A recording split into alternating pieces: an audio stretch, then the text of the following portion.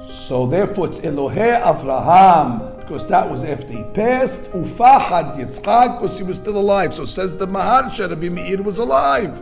So how could Rabbi Meir, with all due respect, say Elad de Meir? He's taking God's name and putting it next to his name. That's the Maharsha. He has a, he has a technical halachic problem with Elad de Meir.